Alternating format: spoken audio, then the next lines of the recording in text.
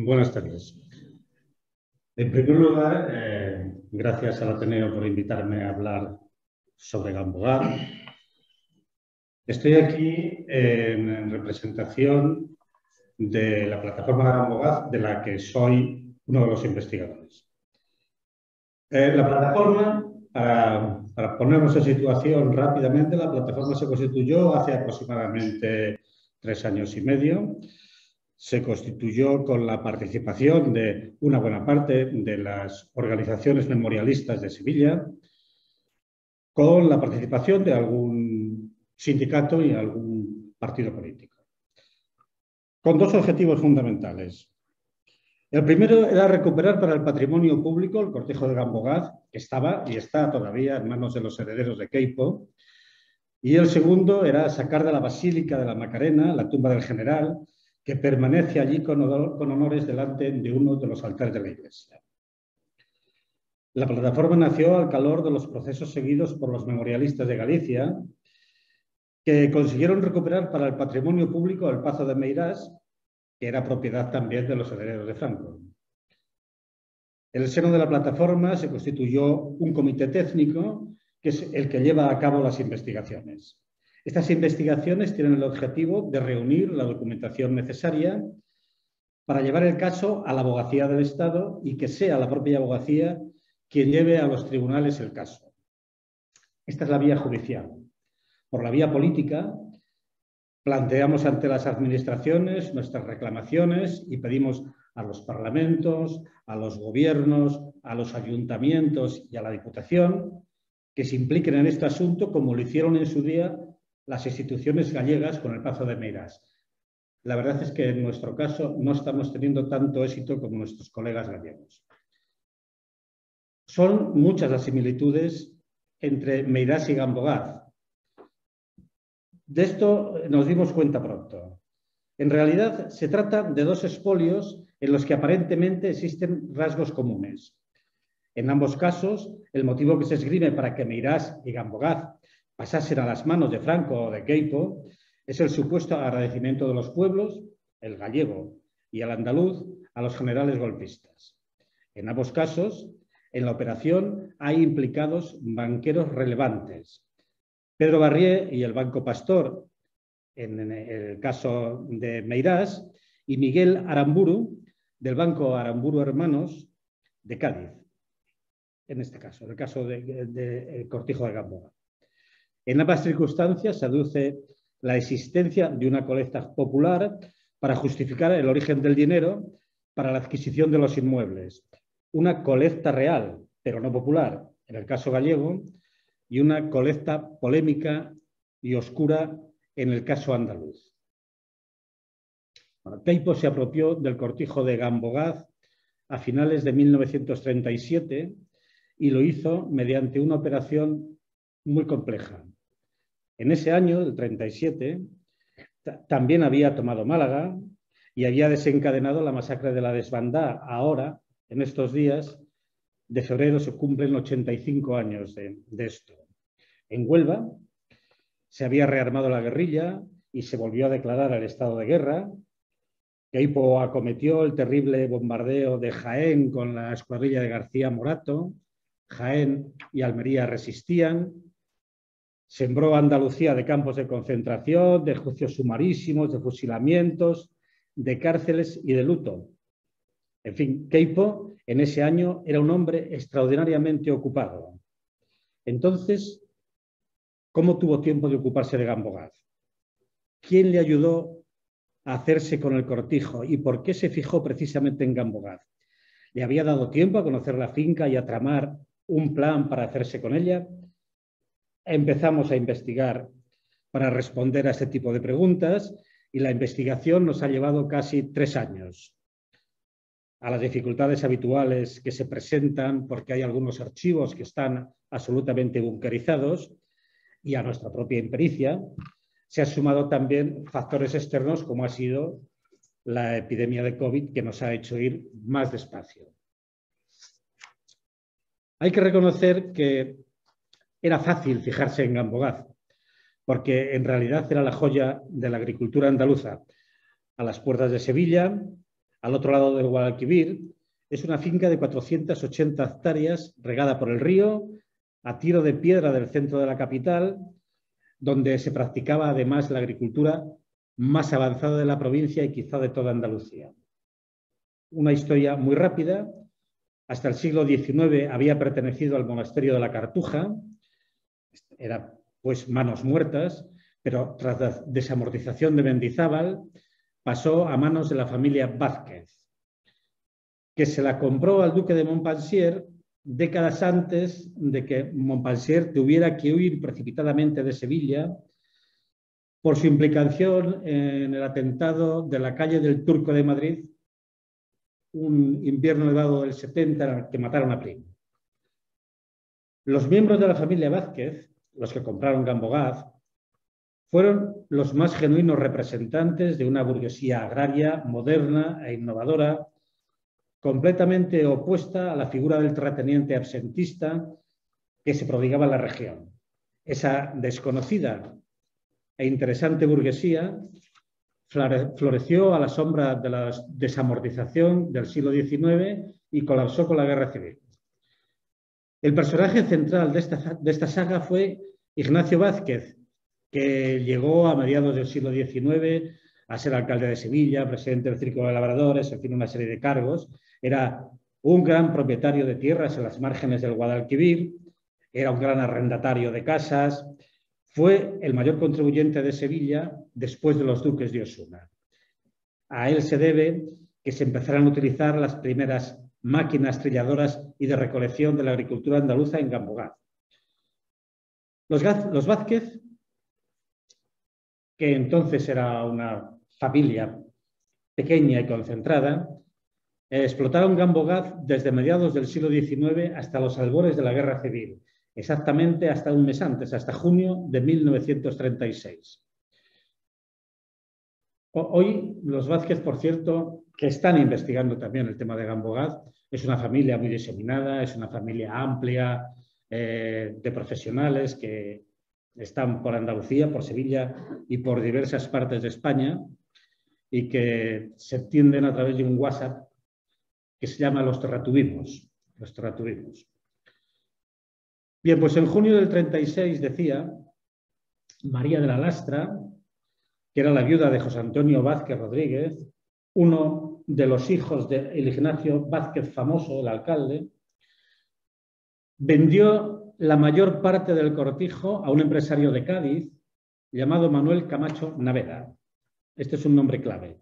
Digo que vendió la mayor parte del cortijo porque Gambogaz en realidad era un proindiviso. Eh, el proindiviso era una forma de propiedad muy, muy utilizada en los testamentos por los grandes propietarios de tierras del siglo XIX para minorar los efectos de la ley del mayorazgo, que se puso en marcha en las Cortes de Cádiz y que a lo largo del siglo XIX fue entrando a trancas y barrancas en vigor. Con, los proindivisos, de alguna manera, se aminoraba el efecto de, que, eh, de la ley del mayorazgo. Bien, pues eh, la viuda vendió 1.375 partes de las 1.600 partes en la que estaba dividido el cortijo. 1.375 partes. En ese momento Camacho tiene 1.375 partes y el resto, 225 partes, continuó en manos de la familia Vázquez. Es decir, a manos de Camacho pasa aproximadamente el 86% del cortijo y los Vázquez se quedan con el 14%. Un año y medio más tarde, el 24 de diciembre del 37, en plena guerra, en plena guerra, en plena Navidad, en una notaría de Sevilla, estas 1.375 partes del Gambogaz proindiviso pasaron a manos de Queipo de Llano. El cómo, quiénes y con qué dinero se realizó esta operación es lo que quiero explicar en esta exposición. El cómo, el modus operandi, este, este, lo conocemos con precisión. Ese 24 de diciembre, día de Navidad, en la notaría sevillana de Fulgencio Echaide Aguinaga, el notario de cabecera de Queipo, con la presencia del propio notario de Queipo de Llano, de un representante con poderes del propietario de Gambogaz, es decir, de, Camacho, y del delegado del Banco de España de la capital, se constituyó una escritura de compraventa de las 1.375 partes del cortijo de las que hemos hablado, a favor del general Queipo, quien seguidamente y en el mismo acto y en el mismo notario, sin salir de allí, constituyó la fundación agraria denominada Fundación Social Agraria Gonzalo Queipo de Llano. Subrayemos social. La constituyó e inmediatamente le donó la finca. En manos jurídicas de Queipo estuvo unos minutos. Esta fundación, según se especifica en la escritura, no tenía ánimo de lucro y sus objetivos eran estrictamente sociales ayuda a los agricultores y damnificados en el conflicto, a los jornaleros en paro, hacer la reforma agraria, etc. Con una, excepción, la agricultura, eh, perdón, la escritura decía, no obstante, que como Keipo carece de capital propio, entre comillas, carece de capital propio, la fundación asegura a sus hijos, y solo a sus hijos, una pensión digna si se vieran en la, pobreza o la indigencia. Por otro lado, la Fundación podía comprar, vender y realizar todo tipo de actos jurídicos. El patronato de la, de la fundación lo constituyeron Gonzalo Caipodellano, Pedro Parias, Ramón de Carranza, Joaquín Benjumea, Francisco Borquez, en fin, de viejos conocidos, efectivamente. Es decir, que el tumultuoso año 1937 terminó con la mayor parte de la propiedad de Gambogaz en manos de la Fundación Agraria de Queipo. El general inició en esos momentos inmediatamente una serie de maniobras para hacerse con el resto del cortijo, es decir, con el 14% que todavía pertenecía a los Vázquez. Seguía siendo un point diviso. Bueno, para no hacer prolija mm, esta parte, que es, que es muy larga, ¿eh? digamos que en los años que dura la guerra, tres años, los hermanos Vázquez, eran nueve, van vendiendo las 25 partes que tenía cada uno a la Fundación Agraria. Por ejemplo, Araceli, que es la primera de las hermanas, eh, lo vende en enero del 38, solo un mes después de la compraventa principal. La última operación data de mayo de 1840, nada más terminada la guerra es el cuarto año triunfal del calendario franquista. En esa fecha, tres de los hermanos, de los hermanos Vázquez, permutan o venden, unos permutan y otros venden, a la fundación las partes que les quedan y en ese momento se termina de facto el régimen de proindiviso. Esta es una operación importante, 1940. Keipo consigue segregar la finca y solo toda la finca ya es, de Keipo. Ah, perdón, de la Fundación Agraria, que es de Queipo. Y solo 34 hectáreas anejas del antiguo cortijo quedan en manos de los Vázquez. 34 hectáreas que quedan fuera del cortijo. Es decir, sobre 446 hectáreas de Gambogaz figura como propietario la Fundación Agraria. En tres años, tras seis operaciones, en la notaría de Chaí de Aguinaga y con muchas presiones, según dice la familia Vázquez, se llegó a esta situación. Eh, esta segregación fue una maniobra clave.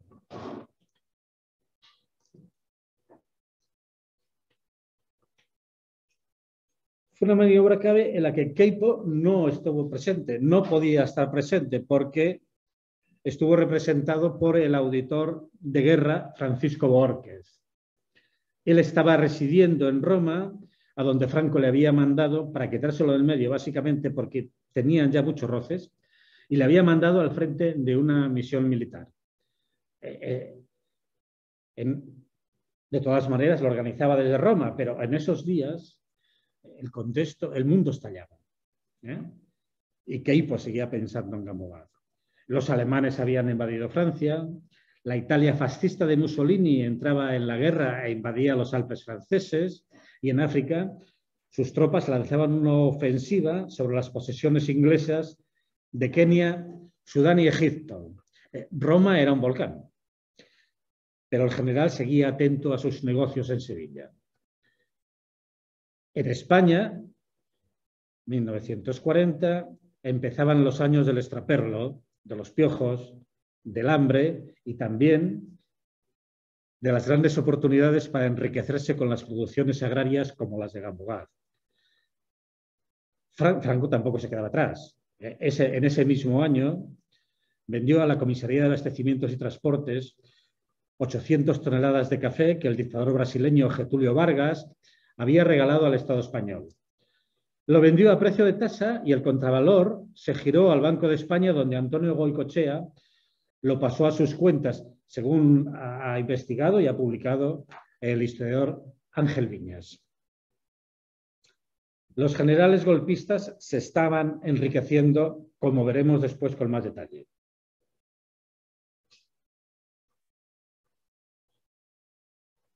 Así que cuando Keipo volvió discretamente de Roma, esto fue en el 42, ahora como general en la reserva, ya estaba en disposición de abordar la operación final sobre Gambogaz. De nuevo en la notaría de Chaide, en el otoño del 43, la Fundación Agraria transmitió la finca a su fundador. De este modo, el cortijo pasó a ser propiedad exclusivamente de Keipo, esta vez como persona jurídica y sin intermediaciones.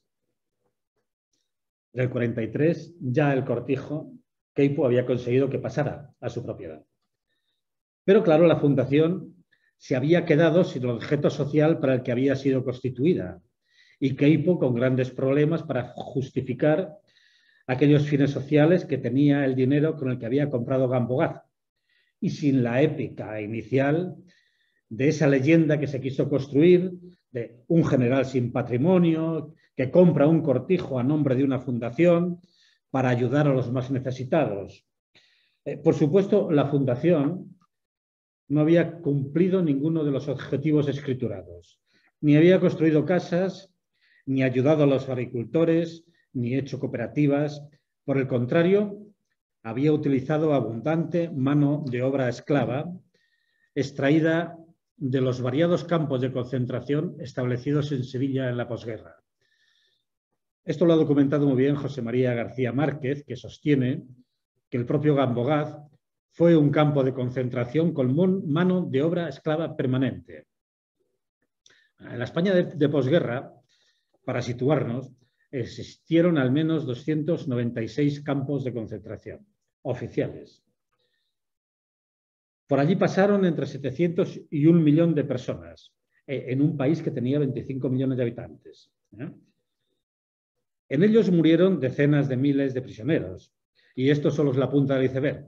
A esos campos hay que sumarle los hospitales de prisioneros, los campos para extranjeros, los batallones de trabajadores, las cárceles y los batallones de castigo para hacer la segunda mili, porque había que hacer la segunda mili, los derrotados tenían que hacer la segunda mili. La mano de obra esclava era abundante en la España de posguerra. Bien, el general abordó los problemas legales de la Fundación en dos movimientos más. En enero del 45, de nuevo en la notaría de Chaide, compró a nombre de la Fundación 150 hectáreas en Isla Mayor por 1.650.000 pesetas, dejando otras 350.000 pesetas en total dos millones, para las necesidades de la Fundación. Así, la Fundación volvía a disponer del capital necesario para, atender sus presuntos objetivos sociales. Pero esta vez en las tierras de las marismas, porque Gambogaz, entre tantos avatares, ya solo pertenecía a Cape El general se había convertido en todo un trateniente ya. En el verano de ese mismo año, del 45, en un documento escriturado ante la Junta Provincial de Beneficencia, Keipo reconoció paladinamente que la Fundación había fracasado y no había podido desarrollar los objetivos sociales que se propuso con la compra de Gambogaz. De este modo pidió y se le concedió un cambio de clasificación de la entidad que pasó a ser de beneficencia social, ¿os acordáis que era de beneficencia social a beneficencia particular? Relevándosele expresamente de la obligación de rendir cuentas. El, documento lo firmó el ministro de la Gobernación, Blas Pérez. Keipo murió en Gambogaz cinco años más tarde con el título de marqués. El cortijo y las tierras de Isla Mayor continúan hoy todavía en manos de sus herederos. Todo esto quedó realmente bien atado. ¿eh? Este fue el modus operandi con el que Keipo se apoderó de Gambogaz y compró de paso las tierras de las marismas de Isla Mayor. Veamos ahora de dónde sacó el dinero y quiénes participaron en la operación.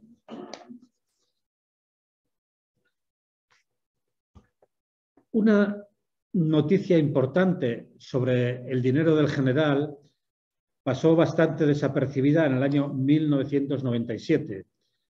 En ese momento, el país se había quedado sin respiración por el asesinato de Miguel Ángel Blanco.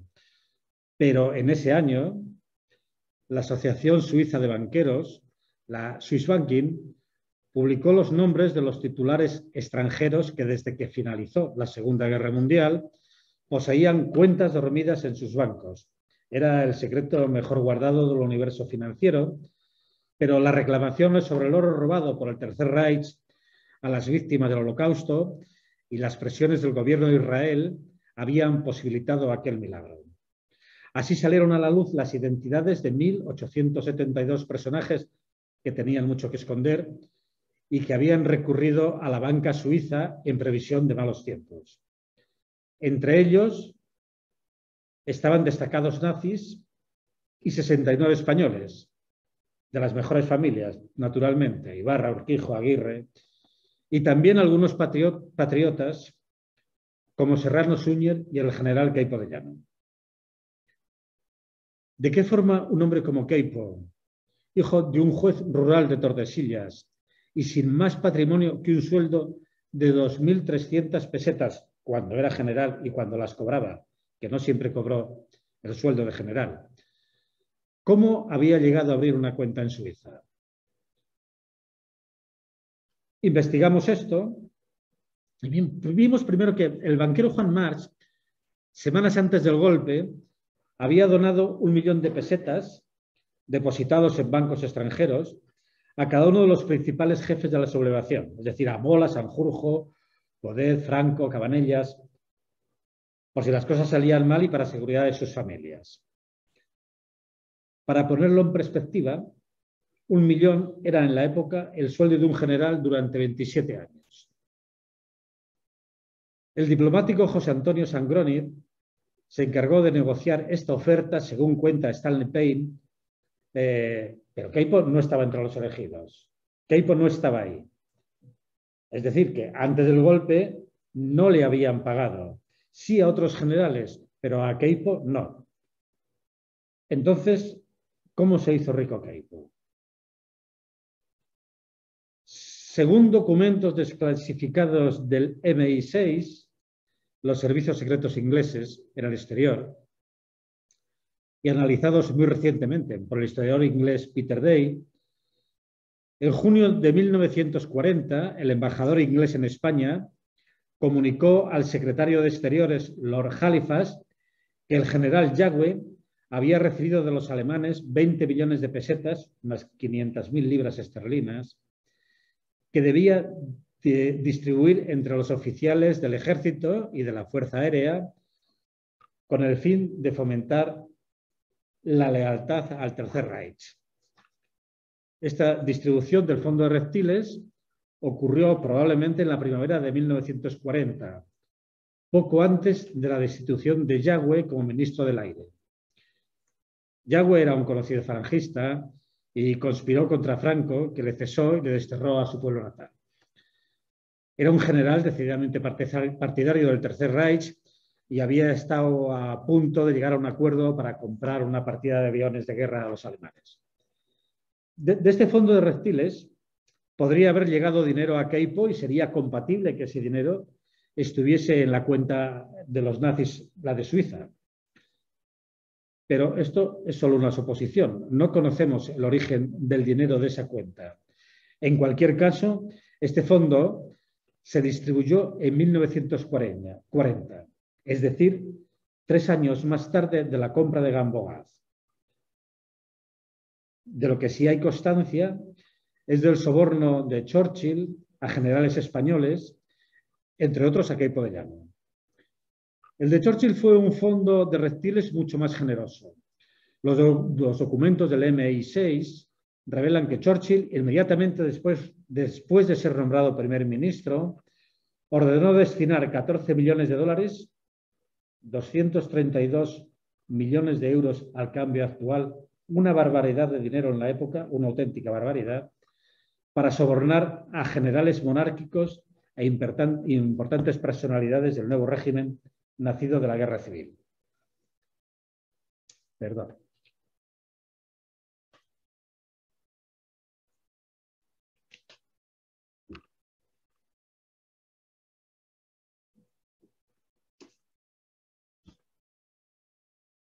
Entre los aborrados se encontraban Nicolás Franco, el hermanísimo, embajador en Lisboa, al que le dieron dos millones de dólares, dos millones de dólares.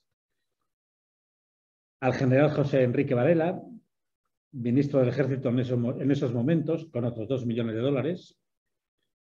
Al general Antonio Aranda, con otros dos millones de dólares. Por cierto, que el general Varela, que nació en San Fernando, y que fue el que tomó Cádiz con López Pinto.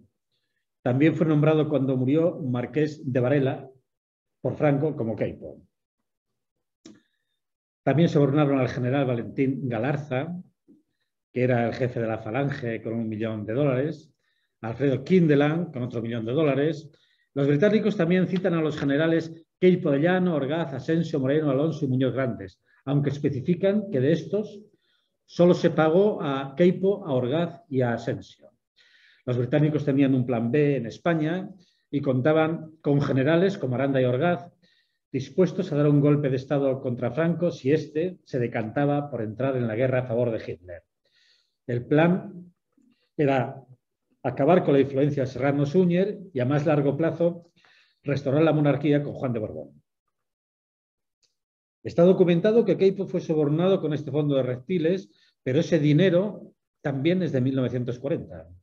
O sea, tres años después de que comprase, el comprase, hay que entrecomillarlo, Cambogaz. Llegamos a la conclusión, en consecuencia, de que Keipo obtuvo dinero de forma irregular a partir del final de la guerra civil, pero cuando compró Gambogaz no tenía patrimonio. Entonces, ¿de dónde sacó el dinero?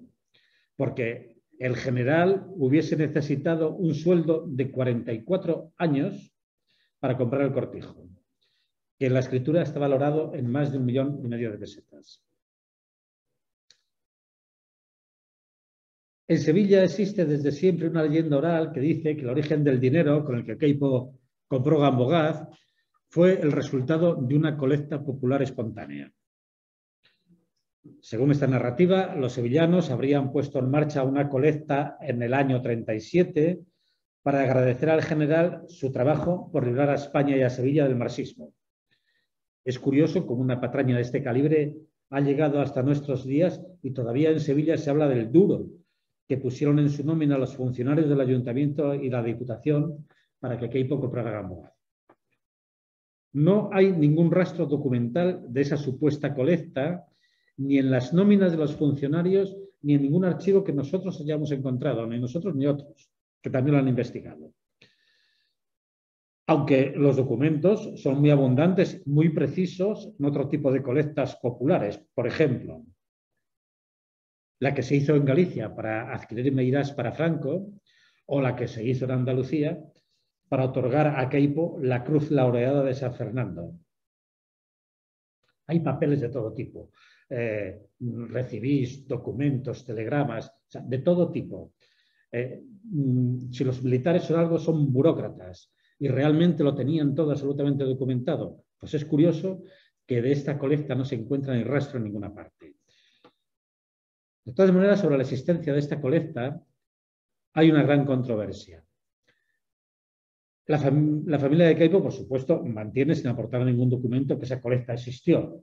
y así lo han publicado en algún periódico, pero para creerles hay que hacer un acto de fe, no aportan nada. En la escritura de compraventa de Gambogaz por parte de Keipo, el notario Echaide Aguinaga especifica que el dinero, lo especifica en escritura, procede de una suscripción que en homenaje al general tuvo lugar en Andalucía. Punto. Y no da más datos. Ni siquiera si el pago se realiza en efectivo, en billetes o también hay cheques, no da ningún dato. Aunque la peculiar escritura se explaya en alabar la figura del general. Salvador heroico, actuación gloriosa, etc. En la escritura de la Junta Provincial de Beneficencia del 44, en la que Keipo cambia la clasificación de la Fundación Agraria, eh, se especifica que la Fundación dispuso de dos millones de pesetas que le habían sido entregadas a Keipo en una suscripción popular y que con ese dinero compró las 150 hectáreas de terreno cultivable en Isla Mayor. En esta, escritura se vuelve a hablar de la colecta y se dice que la recaudación fue de 2 millones de pesetas, pero ahora el dinero de esa colecta, que se estira como el chicle, ya no se emplea en la compra de Gambogat, como la escritura de Chaya Guinaga, sino que se emplea en la compra de las 150 hectáreas de Isla Mayor. Es decir, tenemos una escritura que dice que con la colecta se compró Gambogad y tenemos otra escritura, igual de legales las dos, que dice que con esa colecta se compró las tierras de Isla Mayor.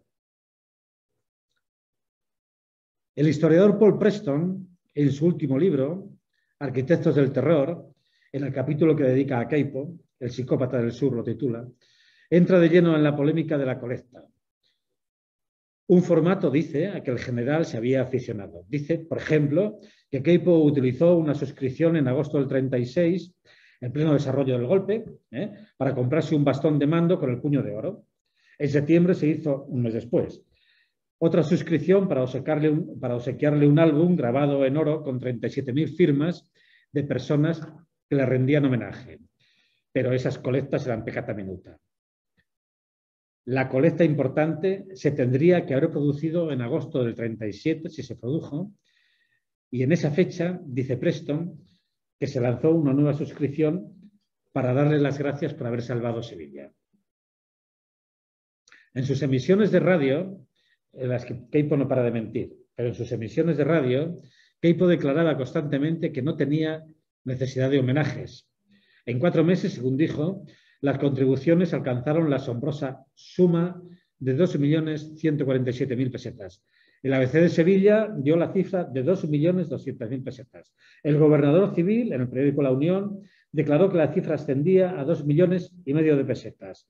Lo cierto, dice Paul Preston, es que la cantidad recaudada apenas llegó a las 100.000 pesetas. Paul Preston sostiene, en consecuencia, que sí, que hubo una recaudación y que se llegó a las 100.000 pesetas. Preston añade, lo explica, que la operación había sido una estafa muy bien montada y que el entusiasmo popular al que continuamente se refería no era sino una manera de disimular el lucro personal y por ese motivo diseñó todo el esquema de la compra de Gambogaz a través de la Fundación Agraria para dedicar el cortijo a fines sociales y a la reforma agraria. Todo era un gran montaje propagandístico. Hasta aquí la opinión de, Preston.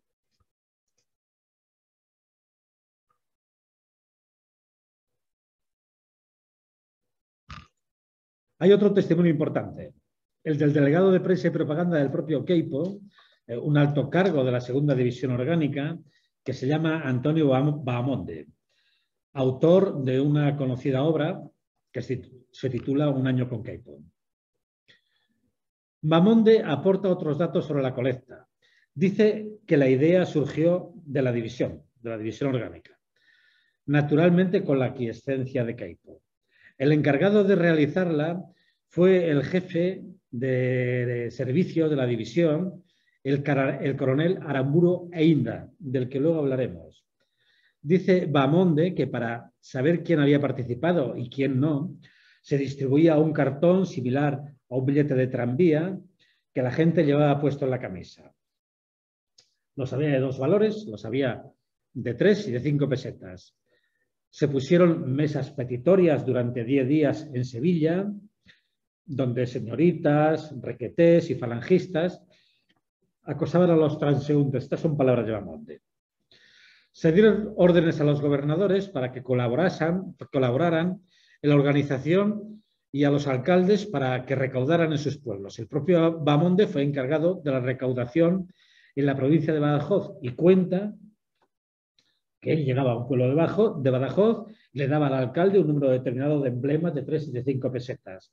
Eh, el número determinado era lo que el gobierno civil había decidido calculando cuánto podía recaudarse en ese pueblo. Y se le daba al alcalde una orden tajante. No se podía devolver ningún emblema.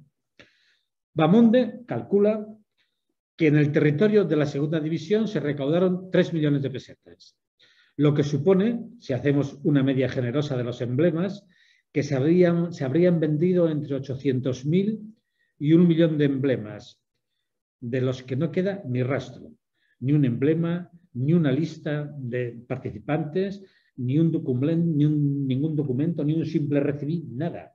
No queda nada. Esto es bastante inverosímil. Si comparamos esta colecta con la que hicieron los, los franquistas en Galicia para comprar meirás, se aprecia que las declaraciones sobre el volumen de lo recaudado están muy abultadas aquí en Andalucía. En Galicia, donde se formó una junta permanente de notables para comprar meirás y donde todas las instituciones estaban real y oficialmente implicadas, donde la junta de recaudación presidida por el gobernador tenía personalidad jurídica y capacidad de recabar dinero y de endeudarse, donde se expropiaron tierras y la recaudación fue mucho más continuada en el tiempo, al cabo de un año habían, la Junta de Recaudación había llegado a la quiebra técnica y debía 750.000 pesetas. Tuvo que ser el Banco Pastor quien aportara el grueso del dinero y quien solventara ese agujero. Naturalmente obtuvo muchos beneficios a cambio. Pero si aceptamos que hubo una colecta en Andalucía, la siguiente cuestión es si Keipo utilizó realmente el dinero de esa colecta para comprar Gambogaz o no lo utilizó. Entramos en los misterios de una escritura.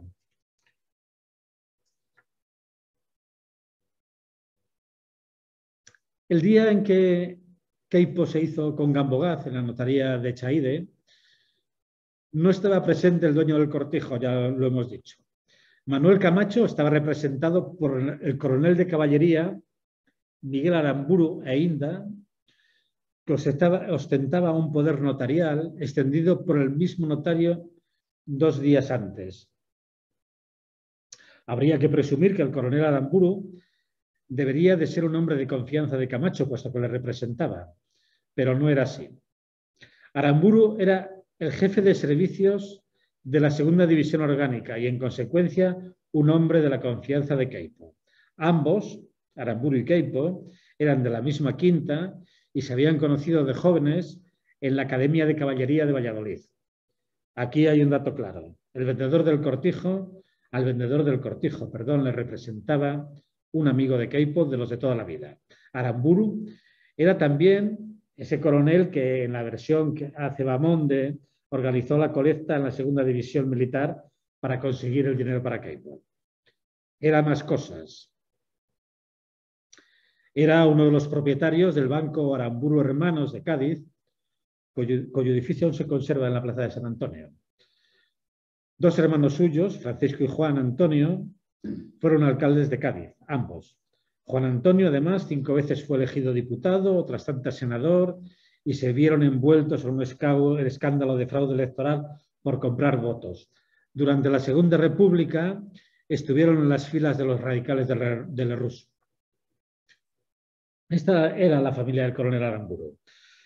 Él mismo, además de un alto cargo militar e insigne banquero, era también presidente de la Cámara de Comercio, conciliario de la Academia de Bellas Artes, que presidía José María Pemán, en fin, un hombre muy influyente, ligado familiarmente con los Carranza, los, los Garbey, los Pemán.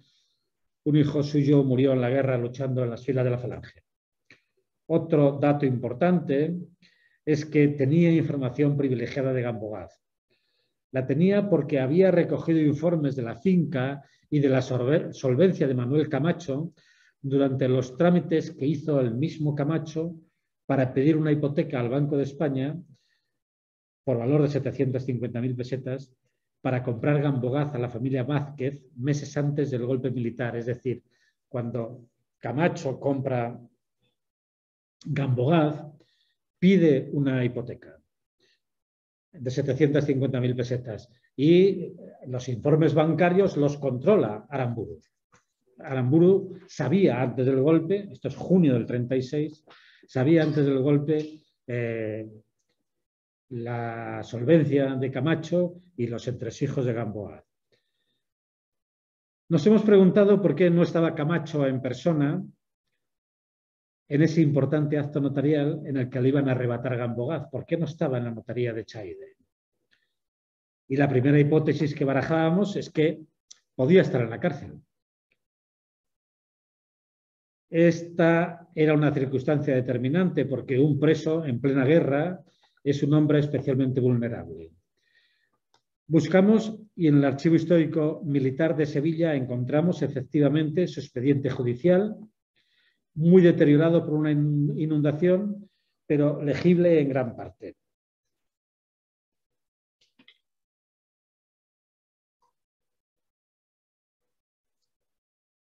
Así sabemos que Camacho, que había nacido en Vejer, pero vivía en Cádiz, era un empresario de renombre que tenía un negocio de coches en la ciudad.